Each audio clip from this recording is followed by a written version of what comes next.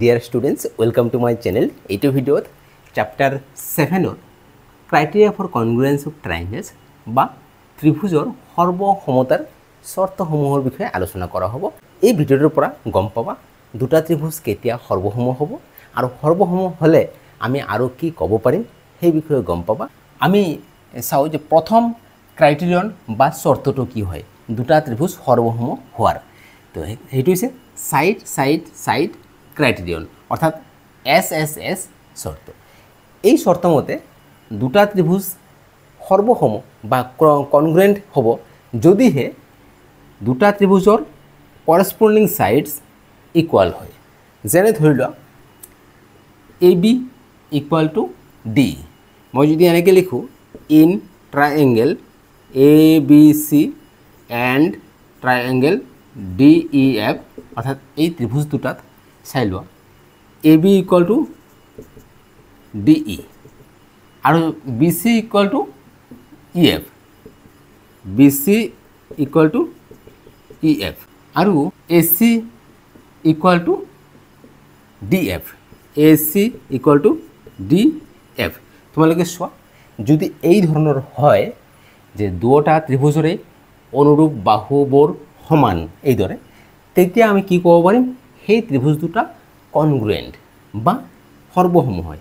আৰু আমি পিছত এইদৰে লিখিম therefore triangle A B C এই সৰ্বাংগসমূহ বা সৰ্বসমূহৰ চাইন এইটো হয় ত্ৰিভুজ ডি ই এফ অৰ্থাৎ এনেদৰে আমি লিখিব পাৰিম দুটা ত্ৰিভুজ কনগ্ৰুৱেণ্ট হয়।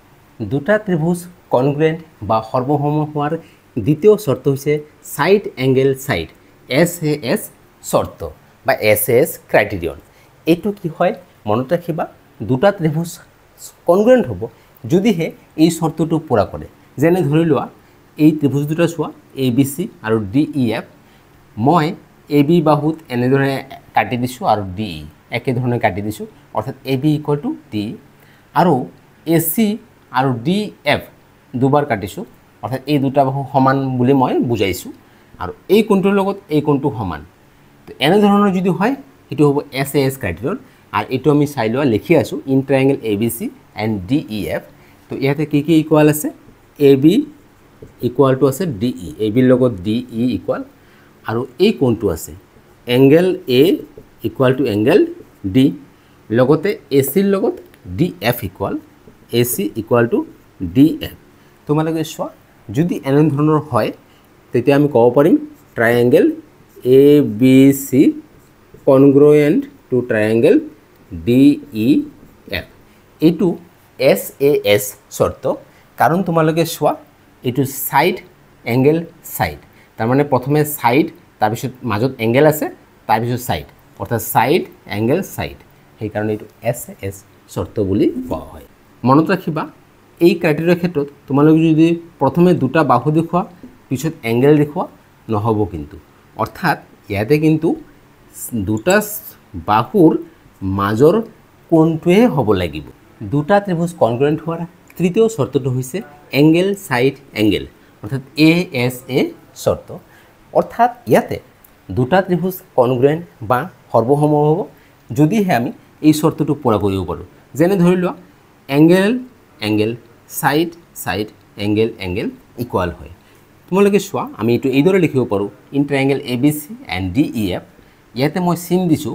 এইটো চিন দিছোঁ মানে এংগেল এৰ লগত এ ডি ইকুৱেল আৰু এই বাহুটোত দুয়োটা বাহুতে এবাৰকৈ কাটি দিছোঁ অৰ্থাৎ এই বাহু দুটা ইকুৱেল এই কোণটোত মই দুবাৰকৈ এনেকৈ চিন দিছোঁ অৰ্থাৎ এই দুটা কোণো সমান। তো আমি লিখিম angle A equal to angle D. লগতে এ বি বাহুৰ লগত ডি ই ইকুৱেল গতিকে A B equal to D E লগতে এংগেল বিৰ লগত angle E equal angle B equal to angle E এতিয়া তোমালোকে চোৱা আমি ইয়াতে কি দেখুৱাইছোঁ চাই লোৱা। এইটো হৈছে এংগেল এইটো হৈছে ছাইড দেখুৱাইছোঁ এইটো এংগেল দেখুৱাইছোঁ তাৰমানে কি? এংগেল ছাইড এংগেল তো ইয়াতে আমি লিখিম therefore triangle A B C congruent to triangle D E F মনত ৰাখিবা এই চৰ্তটোৰ লগতে সম্পৰ্কযুক্ত আৰু এটা চৰ্ত আছে সেইটো হৈছে এংগেল এংগেল ছাইড বা কোন কোন বাহু চৰ্ত সেইটো মই এতিয়া তোমালোকক বুজাই দি আছোঁ। তো আৰু এটা চৰ্ত হৈছে এংগেল এংগেল চাইড বা এ এ এছ চৰ্ত। ইয়াতে কি? এটাৰ পিছত এটা কোণ তাৰপিছত বাহু থকা যদি থাকে তেতিয়াও সেই কোণ ত্ৰিভুজ দুটা সৰ্বসম হ'ব। যেনে ধৰি লোৱা এ বি চি আৰু ডি ই এফ ইয়াতে এ আৰু ডিত একেধৰণে চিন দিয়া হৈছে A equal to D angle B equal to angle E লগতে তাৰপিছত বাহু এটা আহিছে বি চিৰ লগত ই এফ ইকুৱেল তো আমি ইয়াতে লিখিম? চাই লোৱা।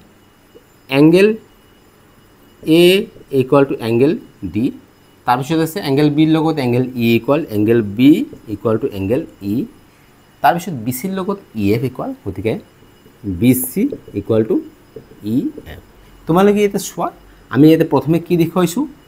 এই এংগেল দেখুৱাইছোঁ অৰ্থাৎ এইটো এংগেল তাৰপিছতো এংগেল দুটা এংগেলৰ পিছত বাহুটো আহিছে গতিকে ছাইড তো এইটো ক্ৰাইটেৰিয়া হয় এংগেল এংগেল ছাইড ক্ৰাইটেৰিয়া আৰু আমি তেতিয়া লিখিব পাৰিম triangle A B C congruent to triangle D E F এতিয়া ইয়াৰ আগত আমি যিটো দেখুৱাইছিলোঁ সেইটো আছিলে এংগেল ছাইড এংগেল আৰু এতিয়া দেখালোঁ এংগেল এংগেল ছাইড এতিয়া আগৰটোত কি আছিলে?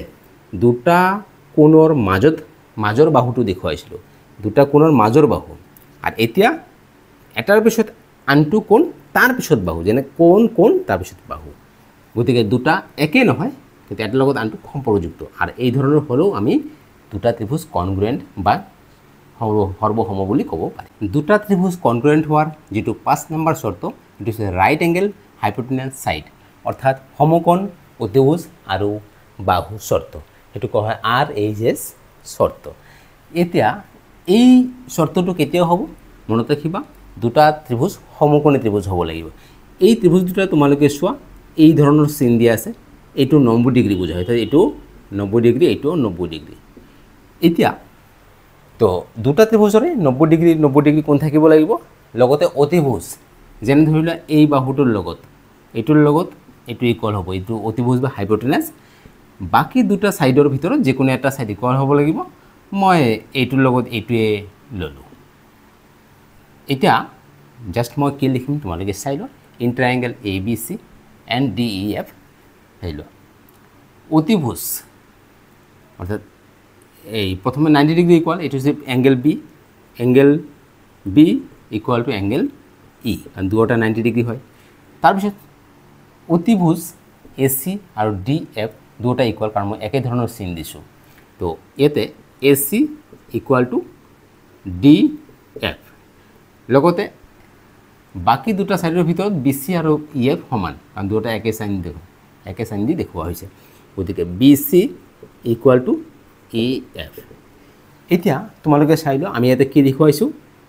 ৰাইট এংগেল ৰাইট এংগেল দেখুৱাইছোঁ ৰাইট এংগেল ৰাইট এংগেল মানে আৰ তাৰপিছত এইটো অতিভুজ বা হাইপৰটেনাছ এইচ দেখুৱাইছোঁ তাৰপিছত ইয়াতে ছাইড যিকোনো এটা বাহু।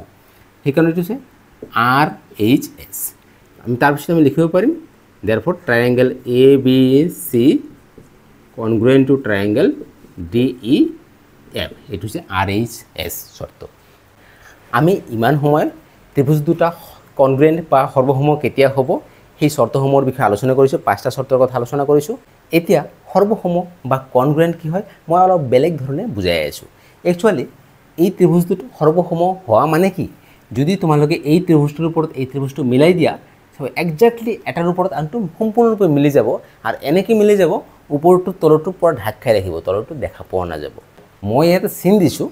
একচুৱেলি সেইবিলাকৰ যোগ দিয়া থাকিব। তোমালোকে যেতিয়া গণিত কৰিবা যোগ দিয়া থাকিব।